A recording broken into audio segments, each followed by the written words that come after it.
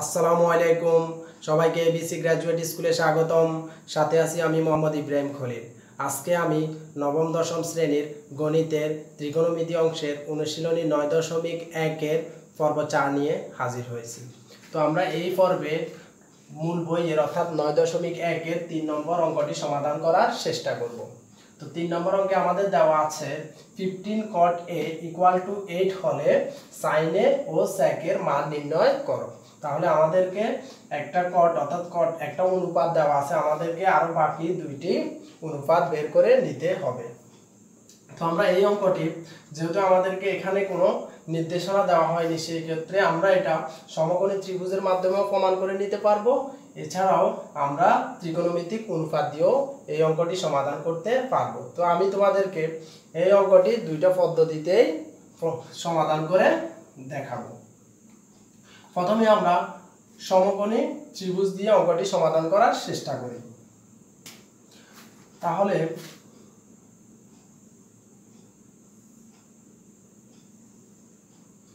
এখানে আমি একটি সমকোণী ত্রিভুজ অঙ্কন করলাম, তাহলে আমাদের বিকোণ হচ্ছে সমকোণ বা নব্বই ডিগ্রি। যেহেতু আমাদেরকে এই কোণের অনুপাত দিয়ে করতে হবে, সেই ক্ষেত্রে আমরা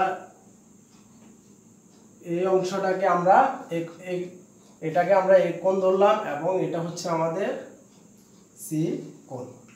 তাহলে আমাদের এবি হচ্ছে আমাদের ভূমি বা সন্নিহিত বাহু। কেন?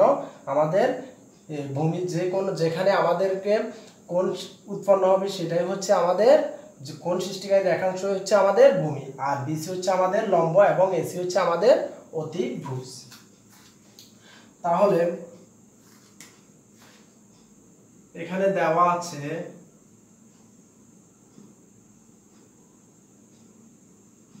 দেওয়া আছে আমাদের fifteen cot A equal to eight তাহলে ভা cot A equal to eight লক্ষ্য করো ফিফটিন এদিকে গুণ রূপে আছে, তাহলে পক্ষান্তর করলে হবে ভাগ, তাহলে হবে ফিফটিন তাহলে আমরা জানি, লক্ষ্য করো, যেহেতু এখানে আমাদের বাহুগুলোর মান সরাসরি দেওয়া নেই সেক্ষেত্রে আমাদেরকে ফিফটিন কটদের এখানে আমাদের দুইটা মান দেওয়া আছে, এই দুইটা মান আমাদেরকে নিতে হবে। তো সেই ক্ষেত্রে লক্ষ্য করো কট হচ্ছে আমাদের টেনের বিপরীত। আমরা শিখেছিলাম tan theta equal to one divide by cot theta তাহলে টেন হচ্ছে টেরা লম্বা ভূত। অর্থাৎ টেন থিটা ইকুয়াল টু হচ্ছে তোমার লম্ব ভাই, তোমার ভূমি। তো লক্ষ্য করো কট ইকুয়াল টু আমরা শিখেছিলাম লম্ব লম্ব ডিভাইড বাই ভূমি, অর্থাৎ আমরা টেন সমান শিখেছিলাম লম্ব ডিভাইড বাই ভূমি টেন থিটা সমান, অর্থাৎ টেরা লম্বা ভূত। তাহলে আমরা শিখেছিলাম টেরা লম্বা ভূত, অর্থাৎ টেন থিটা ইকুয়াল টু ভূমি ডিভাইড বাই লম্ব ডিভাইড বাই ভূমি। সেই ক্ষেত্রে আমাদের কট টেনের কট হচ্ছে টেনের বিপরীত। তাহলে আমরা কট ইকুয়াল টু লিখতে পারি, উপরে হচ্ছে ভূমি নিচে হচ্ছে আমাদের লম্ব। তো লক্ষ্য করো, যেহেতু এখানে উপরের অংশ হচ্ছে আমাদের ভূমি, তাহলে আমরা এইটকে দিব ভূমিতে। ভূমি হচ্ছে আমাদের এবি তারপর হচ্ছে আমাদের ফিফটিন হচ্ছে আমাদের লম্ব। তাহলে আমরা লম্ব দিব ফিফটিন লম্ব হচ্ছে আমাদের এ বি তো আমরা এখানে লিখতে পারি, সুতরাং আমাদের এ বি ইকুয়াল টু হচ্ছে আমাদের এ বি হচ্ছে আমাদের এইট এবং বিসি হচ্ছে আমাদের ফিফটিন তো আশা করি সকলে বুঝতে পারছ। কারণ আমরা দেখো, আমরা শিখেছিলাম টেন ইকুয়াল টু অর্থাৎ টেন ইকুয়াল টু হচ্ছে আমাদের ছিল টেন সমান ছিল আমাদের টেন ইকুয়াল টু ছিল টেন ইকুয়াল টু ছিল লম্বা ডিভাইড বাই ভূমি। আমরা শিখেছিলাম টেরা লম্বা ভূত। তাহলে আমাদের টেন এ ইকুয়াল টু লম্বা ডিভাইড বাই ভূমি। তাহলে আমরা জানি টেন থিটা সমান one divide by cot theta তাহলে বিপরীত। তাহলে কট হবে ভূমি ডিভাইড বাই লম্ব। তো ভূমি হচ্ছে এখানে আমাদের এইট আর লম্ব হচ্ছে আমাদের বিসি অর্থাৎ ফিফটিন তাহলে এ বি হচ্ছে ভূমি। তো আশা করি এই পর্যন্ত সকলে বুঝতে পারছ। এরপর আমাদেরকে এসির মান বের করে নিতে হবে। তাহলে আমরা অতিভুজের মান বের করব কীভাবে? পিথাগোরাসের উপপাদ্য দিয়ে বের করে নিতে পারি। তো আমরা লিখতে পারি ফিথা গোরাসের সূত্রানু সারে। তো ফিথাগোরাসের সূত্র অনুসারে আমরা জানি অতিভুজ স্কয়ার ইকুয়াল টু অতিভুজ স্কয়ার ইকুয়াল টু লম্ব স্কয়ার প্লাস ভূমি স্কয়ার। তাহলে আমরা জানি ফিথাগোরাসের উপপাদ্য হচ্ছে আমাদের অতিভুজ স্কয়ার ইকুয়াল টু লম্বা স্কয়ার প্লাস ভূমি স্কয়ার। তাহলে আমরা জানি অতিভুজ হচ্ছে এখানে আমাদের এসি তাহলে এসি স্কয়ার ইকুয়াল টু লম্ব হচ্ছে আমাদের বিসি বিসি স্কয়ার প্লাস ভূমি হচ্ছে আমাদের এ বি তোমরা কিন্তু এখানে আমরা ভূমিকে এবিকে এখানে ধরে নিয়েছি। তুমি যদি এখানে দাও, তখন এটা হবে ভূমি। তারপর এসি এর মান আমাদের দেওয়া নেই। AC square equal to BC হচ্ছে আমাদের, অর্থাৎ বিসি হচ্ছে ফিফটিন পনেরো হোল স্কোয়ার প্লাস এবি হচ্ছে আমাদের এইট তাহলে এইট হোল স্কোয়ার বা এসি স্কোয়ার ইকুয়াল টু লক্ষ্য করো fifteen whole square fifteen into fifteen fifteen দুইবার, অর্থাৎ পনেরো দুইবার গুণ করলে হচ্ছে আমাদের দুইশত পঁচিশ প্লাস এইটকে দুইবার গুণ করলে eight into eight equal to sixty four অর্থাৎ চৌষট্টি। তো লক্ষ্য করো,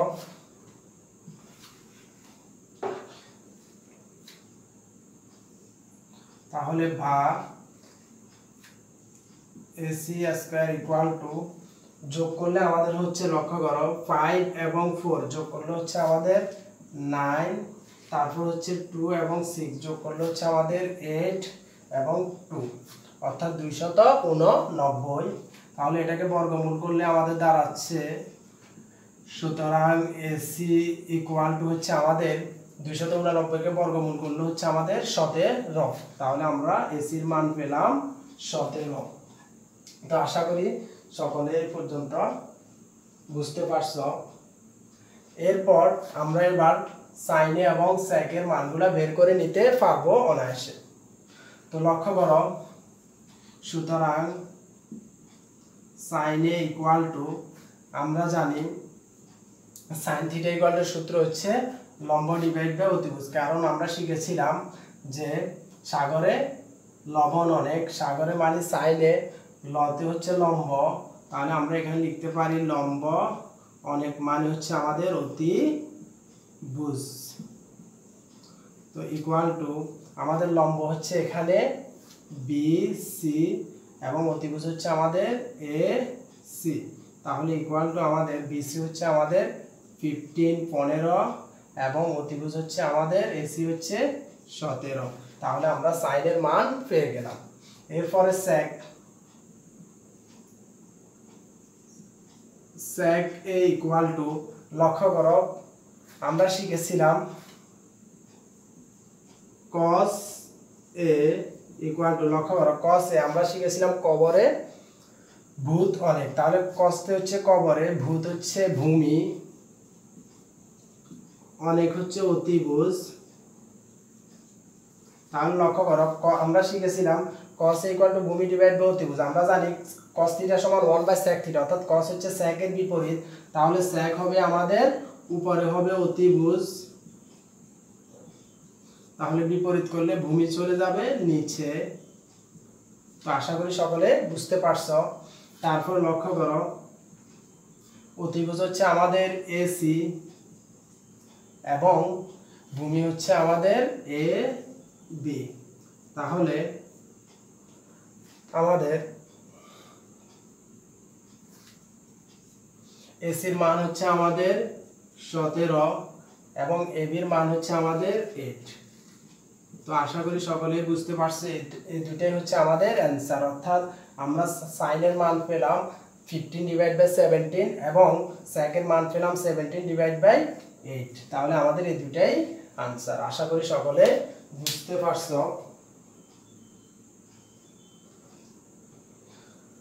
তো এরপরে আমরা এই অঙ্কটি ত্রিকোণমিতিক ত্রিকোণমিতিক পদ্ধতিতে সমাধান করার চেষ্টা করব। অর্থাৎ ত্রিকোণমিতিকের যে আমরা অনুপাতগুলো শিখেছিলাম, সে অনুপাতের সূত্র দিয়ে এই অঙ্ক সমাধান করব। তো লক্ষ্য করো, সেজন্য আমাদের দেওয়া আছে অল্টারনেটিভ তাহলে আমরা এটাকে অল্টারনেটিভ পদ্ধতিতে সমাধান করলে দেওয়া আছে দেওয়া আছে fifteen cot A equal to eight তাহলে ভাগ cot A equal to A divide by fifteen তো এই পর্যন্ত আশা করি সকলে বুঝতে পারছ, লক্ষ্য করো। তাহলে ফিফটিন এদিকে গুণ, এদিকে পক্ষান্তর করলে হবে ভাগ। এরপরে যেহেতু আমাদের মান বের করে নিতে হবে, আমাদেরকে সাইন এ তো আমরা কট এ ইকুয়াল টু সূত্র জানি, আমরা কট থিটা সমান, অর্থাৎ কট থিটা সমান সূত্র জানি one divide by tan theta তো টেন দিলে আমাদের কোনো সাইন আসবে না। তাহলে আমাদেরকে সাইন আনার জন্য সাইন সাইন নিয়ে আসার জন্য, অর্থাৎ আমরা জানি সাইনের বিপরীত হচ্ছে অর্থাৎ সাইন থিটা সমান one divide by cosec theta তো আমাদেরকে কসেক আনার জন্য এটাকে আমরা বর্গ করব। তো বর্গ করলে আমাদের দাঁড়াচ্ছে ভা cot square A equal to eight divide by fifteen তাহলে আমরা কি করলাম? উভয় পক্ষকে বর্গ করে। তাহলে বর্গ করলে আমাদের বা cot square A equal to লক্ষ্য করে এইটার উপরে স্কোয়ার এইট দুইটা, আট আট ষষট্টি সিক্সটি ফোর নিচে পনেরো পনেরো গুণ করলে হচ্ছে দুইশত পঁচিশ। তাহলে আমরা সূত্র শিখেছিলাম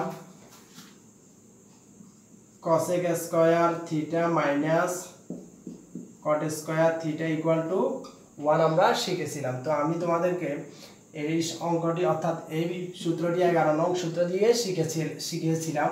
তো এখন আমরা এটাকে যদি প্রক্ষান্তর করি হচ্ছে cosec square theta equal to one plus cot square theta একটা রূপ ছিল আমাদের এভাবে, আরেকটা রূপ ছিল আমাদের cot square theta equal to one minus অর্থাৎ cosec square theta minus one অর্থাৎ এগারো নং সূত্রের এই তিনটা রূপ ছিল। এখন আমরা এই তিন নম্বর রূপটি ব্যবহার করব। অর্থাৎ কটেক দেখো লক্ষ্য করো কট স্কোয়ার ইকুয়াল টু সূত্র হচ্ছে cosec square theta minus one এই অনুসারে আমরা লিখব, তাহলে লিখব কসেক স্কোয়ার যেহেতু এখানে আমাদের থিটার পরিবর্তে আমরা এই এই ব্যবহার করেছি আমাদের প্রশ্নে, এই জন্য আমরা এ লিখব। তাহলে আমরা লিখব A minus one equal to sixty four divide by two hundred twenty five তো আশা করি সকলেই পর্যন্ত বুঝতে পারছ। এরপরে লক্ষ্য করো, বা cosec square A equal to sixty four divide by দুইশত পঁচিশ মাইনাস ওয়ানকে পক্ষান্তর করলে হবে প্লাস ওয়ান এরপর ভাগ cosec square A equal to লক্ষ্য করো ওয়ানের নিচে কিছুই নাই মানে হচ্ছে ওয়ান আছে। তাহলে দুইশো পঁচিশ এবং ওয়ানের লসাগু হচ্ছে দুইশত পঁচিশ। হর দিয়ে ভাগ, লব দিয়ে গুণ। দুইশো পঁচিশকে দুইশো পঁচিশ দ্বারা ভাগ দিলে থাকে ওয়ান ওয়ান দ্বারা ষষট্টিকে গুণ করলে হচ্ছে চৌষট্টি প্লাস আবার দুইশো পঁচিশকে ওয়ান দ্বারা ভাগ করলে দুইশো পঁচিশ একে দুইশো পঁচিশ ওয়ান দ্বারা গুণ করলে দুইশত পঁচিশ একে দুইশত পঁচিশ। হর দিয়ে ভাগ, লব দিয়ে গুণ। এরপর ভাগ cosec square A equal to, লক্ষ্য করো, দুইশো পঁচিশ এবং ষষট্টি যোগ করব, তাহলে হচ্ছে নাইন, এইট এবং two divide by two hundred twenty five. তো আশা করি সকলে বুঝতে পারছ। যেহেতু আমাদের সাইন থিটা সমান সূত্র হচ্ছে one divide by cosec theta তাহলে আমরা স্কোয়ারটা কি করব? বাদ দিতে হবে। সেক্ষেত্রে আমাদেরকে বর্গমূল করে নিতে হবে। তাহলে আমরা বর্গমূল করে নিচ্ছি, তাহলে ভা বর্গমূল করলে আমাদের,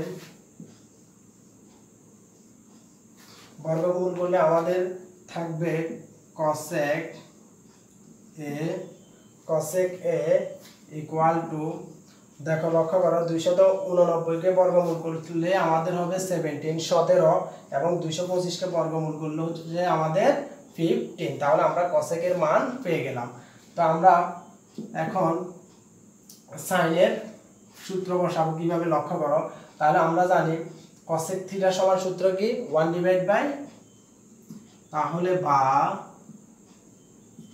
কসেক থিটা সমান সূত্র হচ্ছে one divide by sine theta তাহলে সাইন এ তাহলে কসেক অর্থাৎ সাইন থিটা সমান one divide by cosec theta cosec theta সমান one divide by sine theta তাহলে equal to seventeen divide by fifteen তারপরে বা আমরা এটাকে আট গুণন করব। আট গুণন করলে আমাদের হচ্ছে sine A into seventeen sine into seventeen এবং পনেরো একে পনেরো। তাহলে সুতরাং sine A equal to fifteen এদিকে লক্ষ্য করো সেভেন্টিন গুণ, এদিকে আসলে হবে, পক্ষান্তর করলে ভাগ। তাহলে আমরা সাইনের মান পেয়ে গেলাম। তাহলে আশা করি সকলে পর্যন্ত বুঝতে পারছ। তারপরে আমরা স্যাকের মান বের করব। তো আমরা স্যাকের মানের জন্য আমরা জানি স্যাক থিটা সমান সূত্র হচ্ছে one divide by cos theta sec সমান সূত্র কি? One divide by cos theta তাহলে এখানে কসের মান নেই। তাহলে আমরা সাইন থেকে আমরা কসের মান বের করে নিতে পারব। তো লক্ষ্য করো সেই ক্ষেত্রে আমরা স্যাকের জন্য প্রথমে আমরা কসের মান বের করে নিব। তাহলে আবার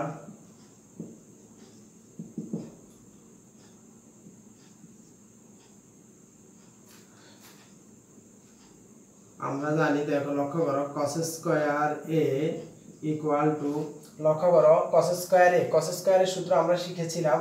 Cos square A equal to one minus sine square A অর্থাৎ আমরা যে সাইন স্কোয়ার এ অর্থাৎ sine square theta plus cos square theta equal to ওয়ানের সূত্র শিখেছিলাম, সেক্ষেত্রে আমরা যদি কস স্কোয়ারকে রাখি, এদিকে অর্থাৎ রেখে দিলে cos square theta equal to one minus sine square theta তাহলে এই অনুসারে আমরা লিখতে পারি আবার কস স্কোয়ার ইকুয়াল টু আমরা লিখতে পারি one minus sine square A যেহেতু আমাদের এখানে এ আছে, সেহেতু আমরা এ লিখব।